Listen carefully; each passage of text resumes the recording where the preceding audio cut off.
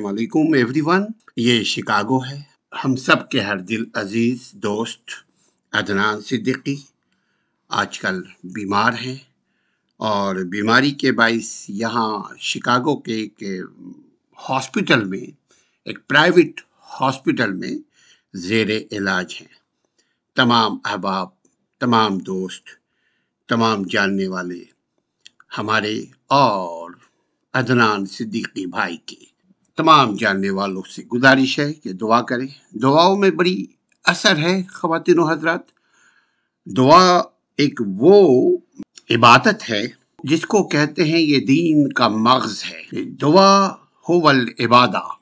ये दुआ एक ऐसी इबादत है कि अगर आप किसी और के लिए दुआ करेंगे सपोज़ आप अदनान सिद्दीकी के लिए दुआ करेंगे, अगर हम हम अपने किसी जानने वाले के लिए दुआ करेंगे, उसके अलावा तमाम मोमिन मोमिनात, मुस्लिमीन, मुस्लिमात के लिए अगर हम दुआ करेंगे तो ये एक निज़ाम इस्लाम है निज़ाम फितरत है निज़ाम इलाही है कि हम दूसरों के लिए दुआ करते हैं, जो हम खैर ख्वाही के तहत नेक नियति के तहत अखलास के साथ अगर हम किसी के लिए दुआ करेंगे, आप यकीन करें वो दुआ लौट कर अल्लाह हमें और ज़्यादा नवाज़ देगा अपने फजल और करम के साथ।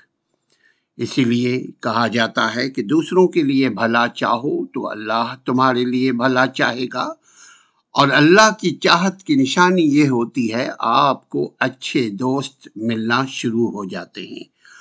अल्लाह के रहम करम की निशानी ये होती है कि आपके दिमाग में, हमारे सोच फहम में मुस्बत ख्याल आने शुरू हो जाते हैं। हम सोचने लगते हैं औरों के लिए पॉजिटिवली। अच्छे ख्याल हमारे दिल में नशो नुमा पाने लगते हैं। सिर्फ़ अपनी नीयत की दुरुस्तगी और बेहतर अमल किताब सुन्नत के ऊपर चलने से ये समरात ये फल, ये नतीजा अल्लाह हमें देता है। अल्लाह के रहम की अलामत ये है कि हम दूसरों पर रहम करने वाले बन जाते हैं।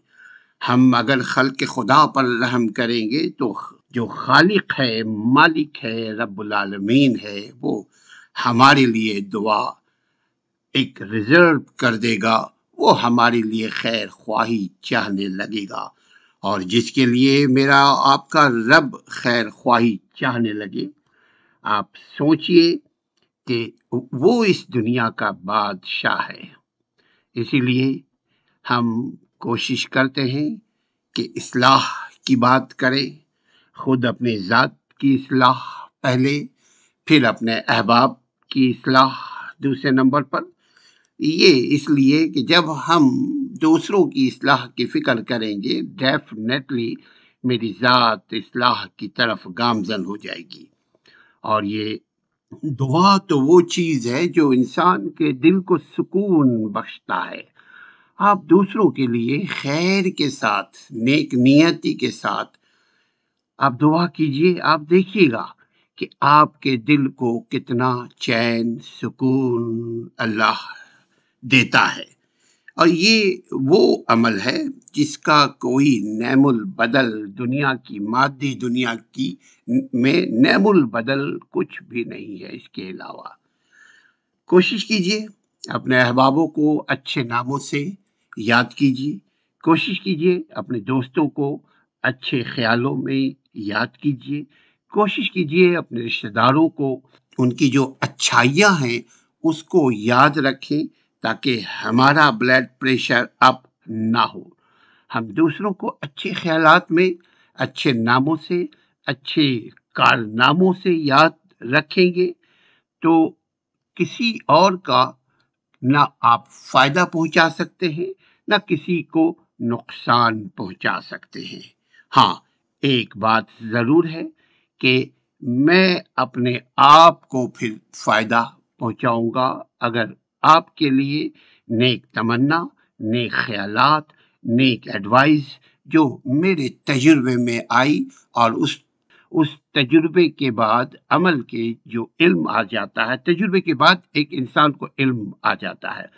उसकी रोशनी में अगर हम दूसरों को एडवाइस करेंगे, वल्लाह, अगर हम बेहतर एडवाइस करेंगे तो अल्लाह हमारे लिए कोई दूसरा एडवाइज़र हमारी ज़िंदगी में भेज देगा।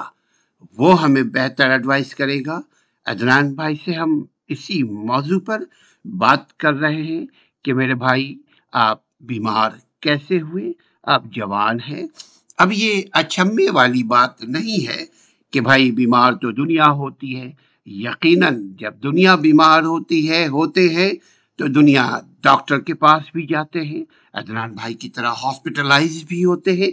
बट बहसीत मुसलमान के हम उनके लिए दुआए सेहत करते हैं।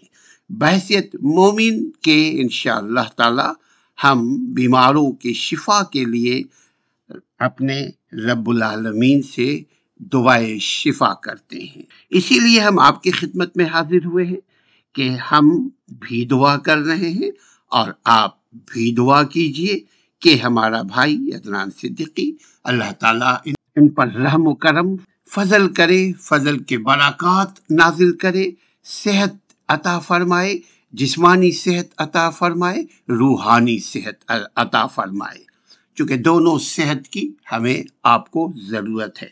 हमारी सोच भी हमारी सोच को भी सेहतमंद होना चाहिए और हमारे अमल को भी बेहतर होना चाहिए।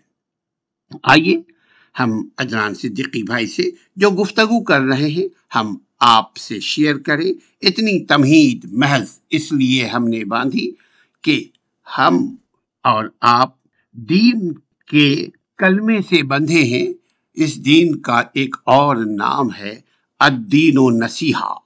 एक दूसरे को नसीहत करें, एक दूसरे की भलाई चाहे, एक दूसरे की खैरियत मांगे। तभी जाकर के जो चीज़ हम अगलों के लिए करेंगे, रब्बुल आलमीन लौटा कर हमें नवाज़ देगा, उसमें बेशुमार खैर बरकत मिला करके। आइए इदरान भाई से गुफ्तगु करते हैं। जी, अदनान भाई, अस्सलाम वालेकुम वरहमतुल्लाह। पाकिस्तान के दोस्तों को या दीगर दोस्तों को कोई पैगाम देना चाहेंगे सेहत के हवाले से भाई, क्योंकि सेहत कितनी बड़ी नेमत है, उसको वही जानता है जो सेहत से दूर जरा यानी कमज़ोर हुआ हुआ है। कोई अगर पैगाम हो सके अपना तैयब भाई करीब अगर आ जाएँ आप। बस सेहत से बढ़ के तो खैर कोई चीज़ नहीं। तो सेहत का तमाम आदमी हर आदमी अपना ख्याल रखें अपनी सेहत का। मेरा तो खैर हमेशा से एक प्रॉब्लम डिफरेंट था। तो अभी जो प्रॉब्लम है वो क्या है? अभी जो प्रॉब्लम असलम भाई इसमें मेरा व्याप जब मुझे दस साल का था ना मुझे रिमेटिक फीवर हुआ था। रिमेटिक फाइबर हाँ। तो उसमें जो बैक्टीरिया होता है गल बच्चे का गला ख़राब हो बुखार हो ना तो गले से बैक्टीरिया हार्ट में चला जाता है और हार्ट में जाके वो व्याल को ख़राब कर देता है। तो बच्चे को कभी बुखार हो स्पेशली लड़कों में हम्म। दस ग्यारह साल की उम्र में तो बहुत ख्याल करना चाहिए क्योंकि वेल्व को डैमेज ना करे। आज भी डॉक्टर से मैं पूछता हूँ कि मुझे परहेज़ किसी चीज़ का करना है क्या पाई नहीं खाऊँ या नहारी नहीं खाऊँ तो सिर्फ़ एक चीज़ कहते हैं कि अपने दांत साफ़ रखो बस। मेरा किसी चीज़ का परहेज़ नहीं है। क्योंकि बैक्टीरिया जब भी जाएगा आपके दांतों से जाएगा जी डिस्टेंस जो है मुँह से हार्ट का बहुत कम है। इसीलिए अपने बच्चों के दांत का ख्याल रखो और दांतों का ख्याल रखें और कभी उनको अगर बुखार हो जाए या उनका अगर गला ख़राब हो तो इमीडिएट एक्शन लें ताकि उनको रिमेटिक फीवर ना हो। रिमेटिक फीवर की अलामत क्या है? रिमेटिक फीवर की अलामत तो ये है यही है कि अगर आपको बुखार तेज़ होगा और अगर गला ख़राब होगा तो बैक्टीरिया वहाँ से हार्ट में जाएगा। वंस यू गेट इट तो एक बहुत ख़तरनाक डिज़ीज़ है जो मुझे याद है कि मेरे वालिद साहब मेरे सारी सारी रात बैठ के पैर दबाते रहते थे और मेरे पैरों में दर्द नहीं जाता था। और मुझे पेनिसिलिन का इंजेक्शन लगता था। तो मैंने सालों जो है ये शदीद दर्द जो है आ, मुझे नहीं पता आर्थराइटस का दर्द कैसा होता है लेकिन मैं 11 साल का था। उसके बाद से लेके मेरे जोड़ों में बे इंतहा दर्द रहा। उसको जोड़ों का बुखार भी कहते हैं उर्दू में। अच्छा अच्छा जोड़ों का बुखार। जोड़ों का बुखार हो जाता है उस, उस वो उसकी अलामत ये है कि दर्द और फिर दर्द दबाने से नहीं जाता बल्कि पेनिसिलिन का इंजेक्शन प्रिस्क्राइब करते हैं। डॉक्टर को दिखाना पड़ेगा आपको कार्डियोलॉजिस्ट को। हम्म। तो उन्होंने पेनिसिलिन का इंजेक्शन भी वो एक ऐसा होता था कि जब लगता था तो बेनतहा तकलीफ़ होती थी उसकी और मैं तीन दिन तक बेड पे लेटा रहता था उसके बाद। तीन दिन तक हर महीने का ये रूटीन था। वेरी पेनफुल एक्सपीरियंस तो दोस्तों आप हम सब अपने सेहत का ख्याल रखें। जब तक सेहत है, तब तक आपके पास, हमारे पास मौका है कि हम इसको मेंटेन करें।